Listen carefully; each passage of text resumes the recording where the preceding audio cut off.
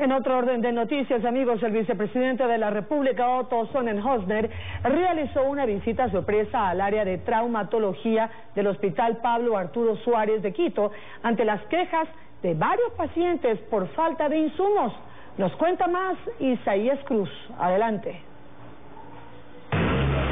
ante la denuncia de varios pacientes de que no hay atención en el área de traumatología del Hospital Pablo Arturo Suárez en Quito por la falta de insumos. Esta es la tercera semana que estamos aquí en, esto. El vicepresidente de la República, Otto Sonnenholzner, hizo una visita a la Casa de Salud para verificar por qué se dio este problema.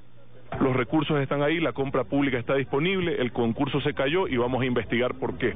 El segundo mandatario conversó con los pacientes y garantizó que serán atendidos de manera urgente. Adicionalmente, hay cómo derivar a otras casas de salud en el caso de traumatología y no se está haciendo, también vamos a investigar por qué, dentro del sistema de salud pública. Esta es una buena noticia, aseguraron los usuarios. Es una excelente noticia eh, que el señor vicepresidente pues haya, se haya hecho presente. Juan Barriga fue quien denunció la falta de insumos, aseguró que por eso fue removido del cargo de director del área de traumatología del hospital. Se llamó a un proceso de adquisición de osteosíntesis, se presentaron 11 casas, la comisión eh, nombró 5 y el gerente dijo esta casa. El gerente de la Casa de Salud no quiso pronunciarse sobre el tema.